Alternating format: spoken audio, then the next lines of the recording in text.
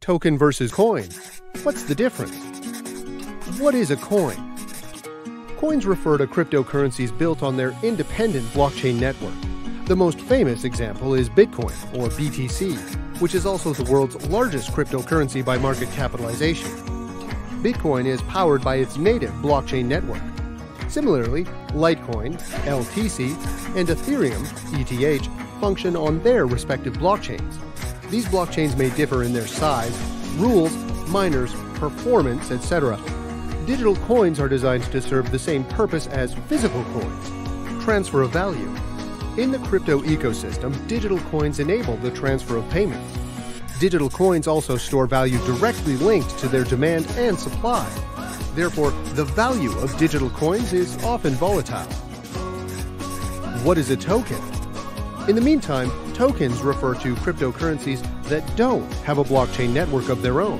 Instead, these cryptocurrencies are built on another blockchain. Users can create digital tokens using one of the many platforms in the DeFi or decentralized finance ecosystem. Ethereum is one of the most popular choices, thanks to its support for smart contracts.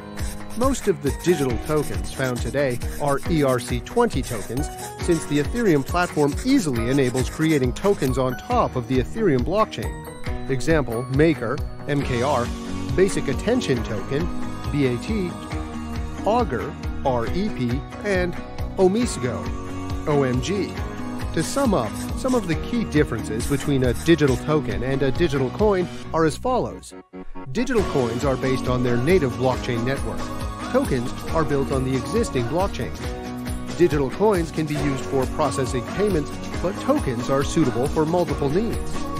Digital coins are more difficult to create than tokens that can be built based on the existing blockchain like Ethereum. Digital coins are mostly distributed through mining, while tokens became popular through ICOs. Approaching cryptocurrency markets is a challenging task, but understanding the basic distinction between the various types of cryptocurrencies can help you manage risk and make better decisions in a volatile ecosystem. Go ahead and click the subscribe button because we have many other videos on our channel that I think you will enjoy. Thanks again for watching till the end. See you next time.